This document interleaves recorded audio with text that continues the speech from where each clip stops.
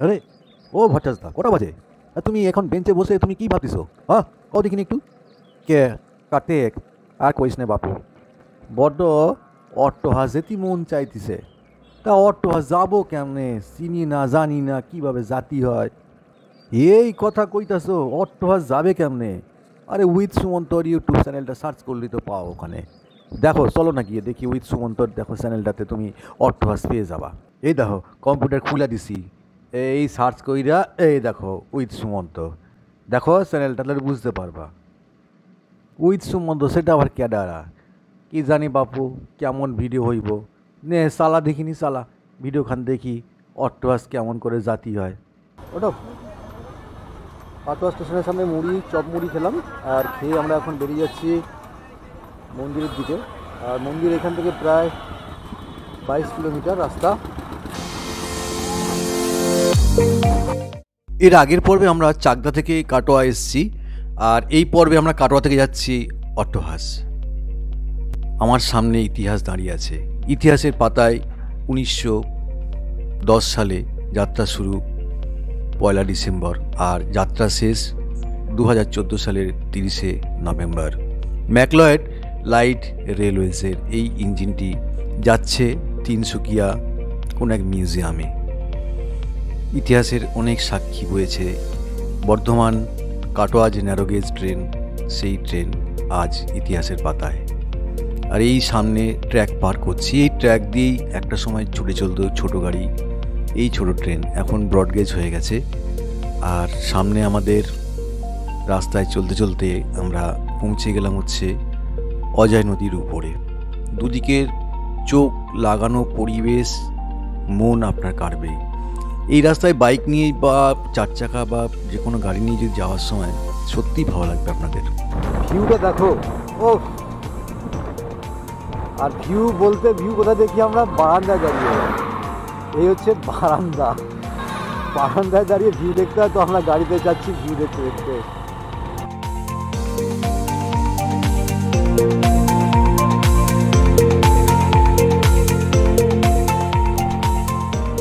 অবশ্যই নিরল গ্রামে আমরা পৌঁছে গেলাম।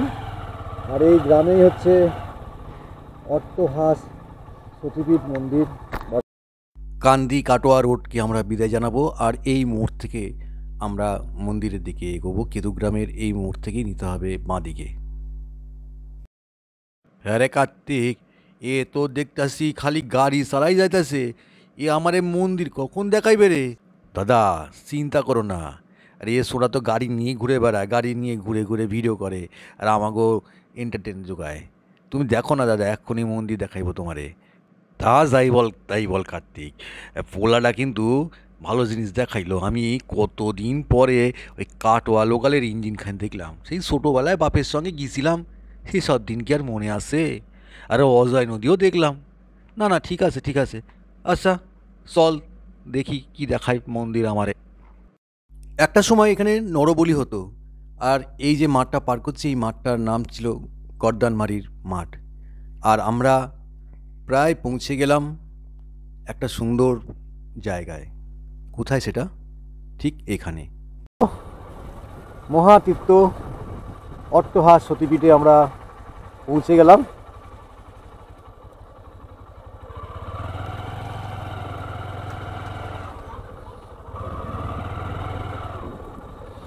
গাড়ি পার্কিংয়ের সুন্দর ব্যবস্থা আছে ভিতরে সম্পূর্ণ ফ্রি পার্কিং গাড়ি পার্কিংয়ে কোনো পয়সা দিতে লাগে না।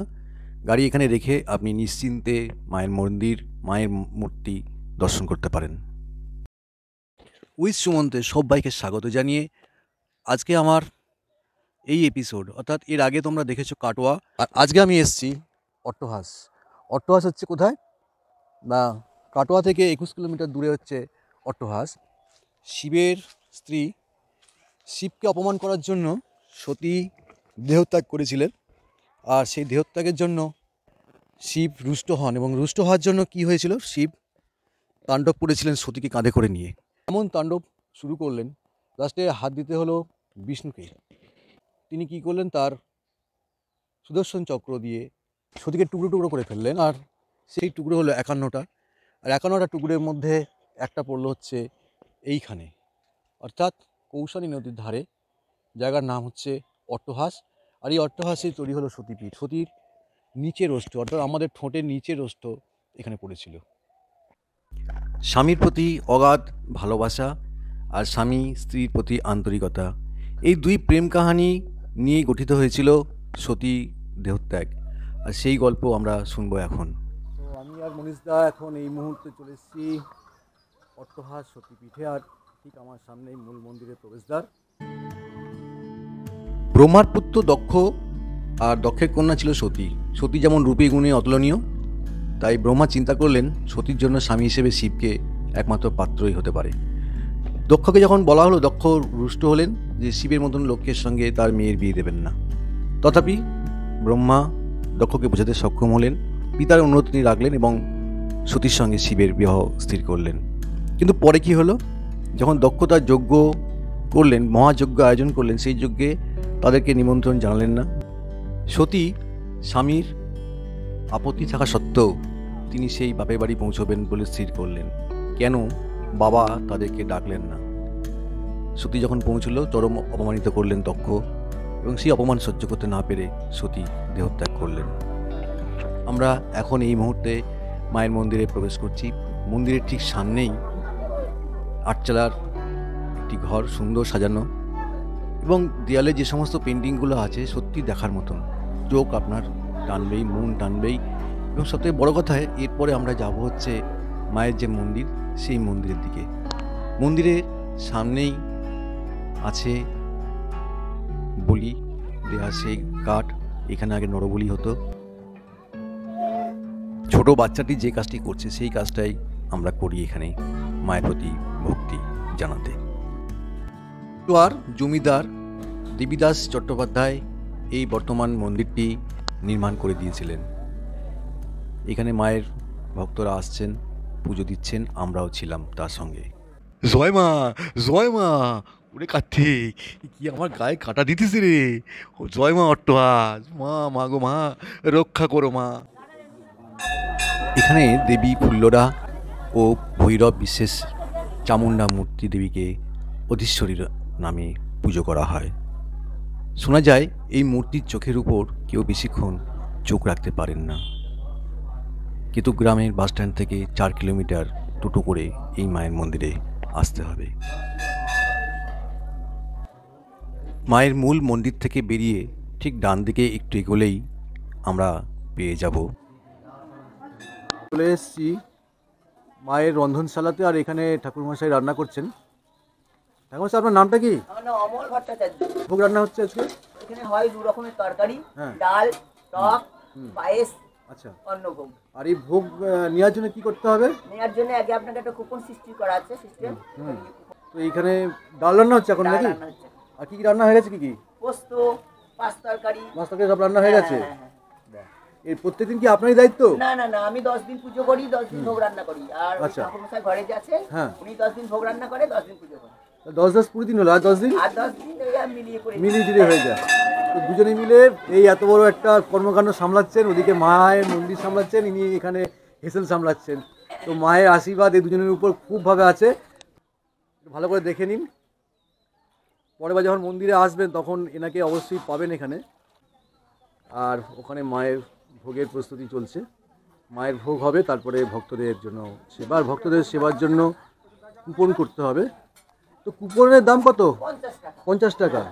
তো কুপনের দাম পঞ্চাশ টাকা আর কুপন কাউন্টার হচ্ছে ঠিক পিছন দিকে। চলুন যাচ্ছি ওখানটাতে।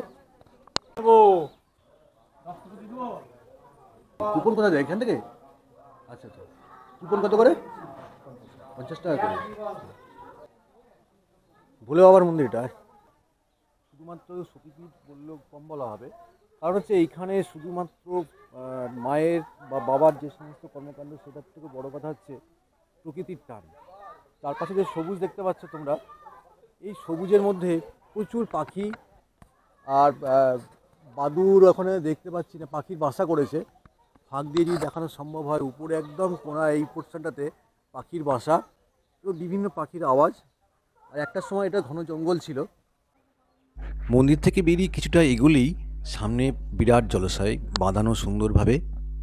এই পুকুরটি সঙ্গে কৌশানী নদীর একটি অংশ হিসেবে জানা যায়। এখানে কিছুক্ষণ বসে থাকতে পারেন শুধুমাত্র প্রকৃতির টানে। আর আমরা হাঁটতে হাঁটতে পুরো জঙ্গল পরিবেশ সবুজের আনন্দ লাভ করলাম। আর এই পথে চলতে চলতে পুরো পুকুরটা ঘুরে যখন আমরা ওই প্রান্তে পৌঁছলাম, সবুজের আবেশে আমরা মুগ্ধ হয়ে গেলাম। এত সুন্দর পরিবেশ, সত্যি কোথাও দেখিনি আমি এর আগে।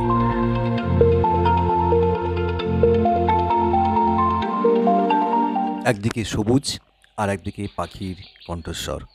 আমরা এখন আছি রটন্তী কালী মায়ের মন্দিরে। দাদা, কি বুঝদাসো হ হ, ক ক, এবার ক। হ, কার্তিক, তুই ঠিক কইছিস। এমন সুন্দর করিয়া দেখতাছি, চোখ ভইরা যাতিছে আমার। ওই দা এখন আমি এই মুহূর্তে পৌঁছে গেছি হচ্ছে সতীপীঠ অট্টহাস। আর অট্টহাসে সম্বন্ধে কিছু কথা আমরা জেনে নিচ্ছি। এখানকার স্থানীয় বাসিন্দা তো ওনার পরিচয়টা আগে আমরা সেরে নিই। আমার নাম ফটিক ফটিক রায়। ফটিক রায়। আচ্ছা বলছি এই মন্দিরের ইতিহাস সম্বন্ধে আপনি কি জানেন? ইতিহাস ধরেন যুগ যুগান্তর ধরে উত্তর বাহিনী নদী মায়ের চামুন্ডা মূর্তি হুম সতীপীঠ। আচ্ছা এবার ধরেন আমরা দীর্ঘদিন এরকম দেখে আসছি যে মায়ের মানে এইখানেই মায়ের আবির্ভাব এইখানেই মায়ের সব কিছু এবং আমার পিতা পুরুষ দেখছে এইরকমই মানে জঙ্গল এইরকমই মায়ের জঙ্গলের মধ্যেই মায়ের আবির্ভাব। তারপর ধরেন এইখানে আছে আপনার রানী রাসমণি এসেছিলেন। আচ্ছা। তারপরে আপনার যে কালী আছে যে পাষাণ কালী যেটা দেখলেন ওই কালীটা আপনার রঘু ডাকাতে কালী জানেন তো? ডাকাত ডাকাত হ্যাঁ ওটা। আরেকটা মন্দির- সঙ্গে আছে। হ্যাঁ ওটা আপনার ভোলে বাবার মন্দির যেটা আপনার বলা চলে বামার অংশ। আপনি দেখ- দেখলেন ওই যে আশ্রম। আচ্ছা। ওই আশ্রমে উনি বসতেন এবং উনি ওখানে সাধনা করতেন। আচ্ছা আচ্ছা। বাৎসরিক অনুষ্ঠানটা কবে হচ্ছে? হোলিতে হয় দোল পূর্ণিমাতে। তো যারা এই মন্দিরে আসবেন দাদার এই চায়ের দোকানটা খেয়াল করুন। এখানে আশেপাশে কোনো চায়ের দোকান নেই। যাদের চায়ের নেশা আছে বা নেশা ভান যারা করেন একটুখানি তাদেরকে বলব যে এই এইখানে চলে আসেন। জাস্ট এই ব্রিজটা পার করে এপাশে আসবেন। আসলে কিন্তু এখানে এই দাদার দোকান খুব ছোট একটা দোকান কিন্তু সব রকম জিনিসই আছে তাই তো? চা চাটা রাখেন। চাও এখানে পাওয়া যায়। চা পূজা পুজোর সামগ্রী। যেটা দরকার সেটা হচ্ছে পুজোর সামগ্রী এখানে পেয়ে যাবেন। যারা এখানে মায়ের পুজো দিবেন বা প্রসাদ নিয়ে আসতে চান তারা বাইরে থেকেই নিয়ে আসতে হবে। এখানে কোনো মিষ্টির দোকান বা মুন্ডা মিষ্টিটা নিয়ে আসবেন। মুন্ডা? হ্যাঁ। না আপনাকে নিরল থেকে নিতে হবে। সো চলুন ওনার সঙ্গে কথা বললাম। ওনাকে অনেক ধন্যবাদ আপনাকে। নমস্কার। তো উইথ সুমন্তে তোমাদের সবাইকে স্বাগত। কেমন লাগল তোমরা জানিও। আর এপিসোডটা আমি আজকে এখানেই শেষ করতে চলেছি। কারণ আমাদের ফিরতে হবে ফিরতে হবে হচ্ছে কোথায় না কালনা। কারণ কালনাতে একটা অনুষ্ঠান আমাদের আছে। সেই অনুষ্ঠানের পরে আমরা ওখান থেকে যাব হচ্ছে ভবা পাগলার আশ্রমে। আর আজকে আমার সঙ্গে ছিল হচ্ছে মনীষদা তো তোমাদের কেমন লাগছে তোমরা অবশ্যই জানাবে। আর আমি মনীষদাকে জিজ্ঞেস করব মনীষদা তোমার কেমন লাগল? ভীষণ ভালো। আপনারা সবাই আসবেন। এই পরিবেশ এই মায়ের মন্দির এটা একটা তীর্থস্থান। এখানে সবাই আসবেন ভালো লাগবে। খুবই ভালো লাগবে। শুধু মায়ের স্থান বলে নয় এত সুন্দর প্রকৃতি বা পরিবেশ আমি দেখাচ্ছি দেখো চারপাশে সবুজ এবং বিভিন্ন রকমের গাছপালা এবং বাদুর দিনের বেলায় বাদুর দেখছ এখানে বাদুর আছে। মানে আমার ক্যামেরা দেখা যাচ্ছে না কিন্তু আমি নিজের চোখে দেখলাম অসম্ভব সুন্দর। আর এই প্রকৃতিকে প্রকৃতির টানে যদি আসতে হয় তো অবশ্যই আসতে বলব হচ্ছে এই মন্দিরে অট্টহাস মন্দির অট্টহাস সতীপীঠে। অট্টহাস মায়ের দর্শন করে এবার আমাদের ফিরতে হবে। ফেরার সময় একটাই কথা মনে মনে বলেছি, আবার আসব ফিরে মা, তোমার ঠানে আবার আসব ফিরে, তোমার ঠানে জয় মা জয় মা জয় মা। আরে ও দাদা দাদা গো, কি দেখলা? মোহিত হয়ে গেছো মনে হতেছে পুরি কার্তিক, তোরে আমি কি করে থ্যাঙ্কস দিব? ও অসম্ভব লাগছে রে কার্তিক, দারুণ দেখলাম। ও বন্ধুরা, তোমাকে কইতাছি, যারা দেখলে এতক্ষণ ধরা, একটু লাইক দিও, আর যারা নতুন দেখতেছো, তারা একটু সাবস্ক্রাইব করে দিও। বুঝলা? চ্যানেলের নাম হচ্ছে ওই সুমন্ত ওই মা, জয় মা জয় মা জয় মা।